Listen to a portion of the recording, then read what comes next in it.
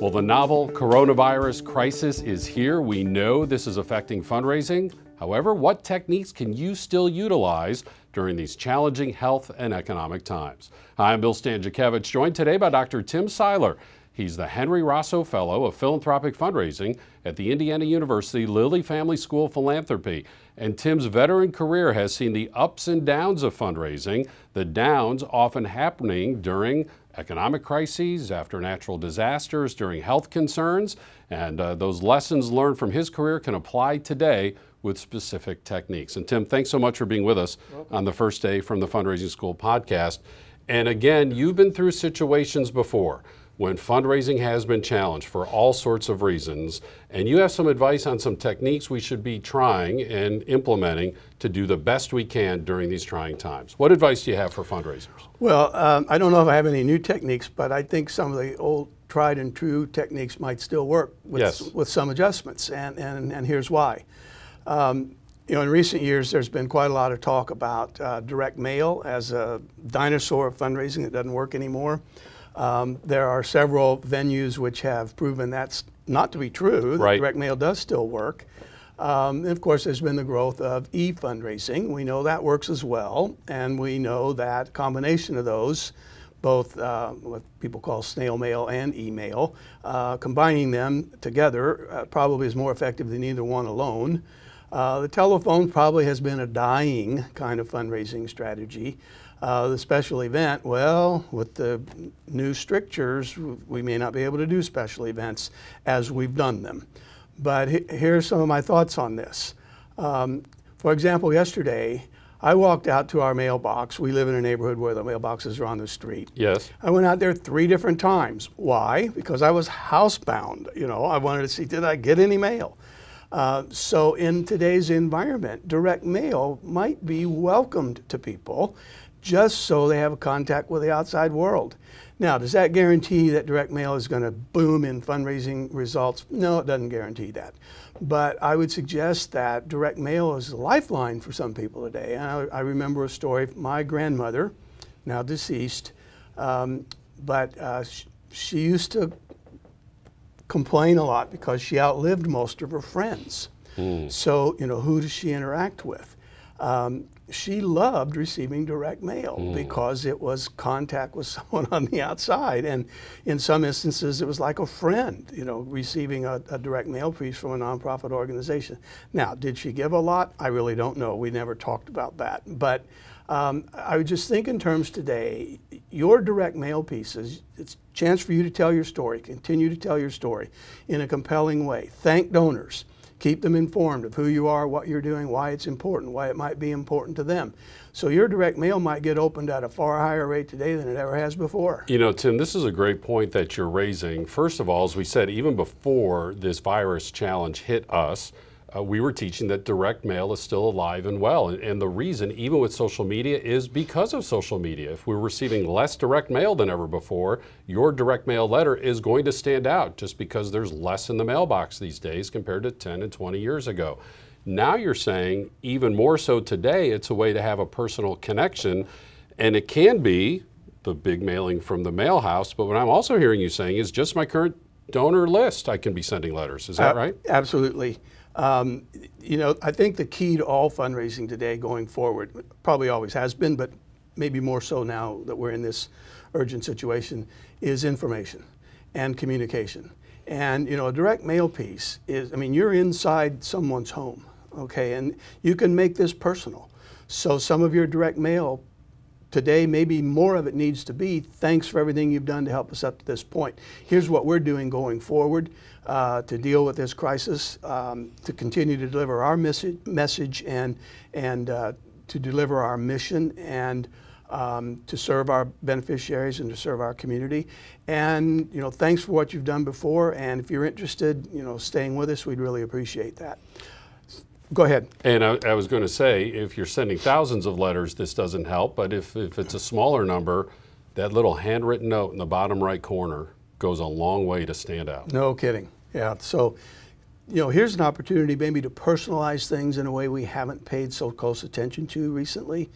Uh, and related then to uh, to the direct mail, uh, you know, e-fundraising is another way yeah. to stay in touch with your people. You can personalize this pretty highly if, if you um, if, if you have the resources to do it. Um, and then, you know, special events. Well, our special events are going to be limited, but how many of them can be virtual special events? So how do we build community through the digital world? Uh, so they're old strategies. Um, you know, what's what's falling out of the picture to some degree is that personal face-to-face visit, vi visit, which we have historically said is the most effective fundraising, but you know, personal telephone call, um, we can still uh, make things as personal as possible. Uh, by engaging all of these various kinds of strategies. What we're trying to do certainly is not to minimize the challenge that fundraisers are facing today. What we're trying to do is find opportunity amidst this challenge and you know, Tim, while a lot of us are staying home more often, not all of us have our jobs that we're allowed to do that, but we know many people in the United States are working from home. Let's say they still have the same volume of work.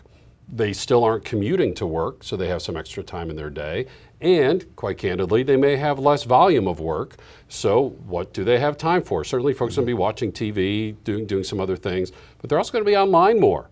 They're also going to be walking out to the mailbox more, looking for that social connection. So that's how we're trying to find opportunity amidst this yeah, crisis. Well, that's, that's well said. Um, the, the important thing, I think, uh, regardless of what strategies you decide to use or, or to, I, I would say the most important thing you need to do is not do anything. Yeah, don't stop. Don't do anything. Yeah. don't do nothing. Right. Uh, double negative there. But, um, and I would also say, you know, I, I, don't know who this song was by, but it was a relatively recent contemporary song. I think the title of it was "Don't Stop Believing." Yeah, Journey. Uh, thank you. I think we have to keep believing, and I think uh, we, we're all doing good work. And some of our nonprofits may not be on the front lines the way the health industry is today, but um, you know, you may be in education, and and you may be um, teaching the next scientist who's going to find the next great discovery. You may be in, in the arts, and the arts are going to be a, a real salve for a lot of us in these coming days, uh, whether we view that you know, in person at the museum or we, or we see it online or we see it on television. But um, if your mission was valid last month, it's, and it's still valid today, you have to keep believing that you're doing good work and that people are going to care about you and some of your most loyal donors are going to want to help. They're going to want to help you continue to what you want to do. Um, our, our donors stay loyal to us during the rough times as, as, well as they stay with us during the good times. And we know that from data that our colleagues at the school have gathered over the years. Man-made crises, uh, natural disasters, whatever it is, people tend to stay loyal to, um, to the organizations they care the most about. Will there be a decline in giving? Most likely. Right. But uh, will, will donors stay loyal? Most likely. Right. And while the, um, the Great Recession, we saw a great decline in wealth and a decline in income. We've seen that come back until the last couple of days. But we know that philanthropy did not decline nearly at the percentage that um, income and wealth declined during that recession. Now, you know, yet to determine, yet to see what's going to happen going forward from today. But I believe donors look for uh, stable organizations that keep on keeping on, and I think they want to help. And so we need to be wise about the strategies that we utilize.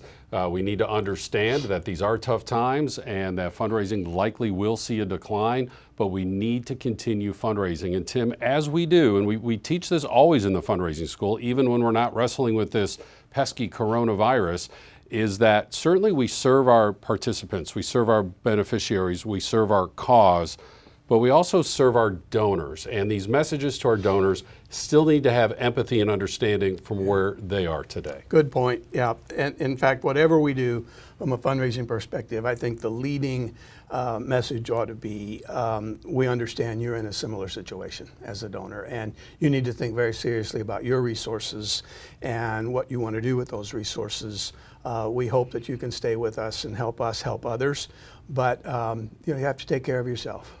And that's been our message here at the Fundraising School. While we've needed to close down our in person courses for a while, we're still open for business. We have online courses uh, if you have time and resource for that. We have these free podcasts every week. Gosh, we have about two years of podcasts archived on our website right now. You have some time on your hands, you can maybe uh, continue your professional development in that way.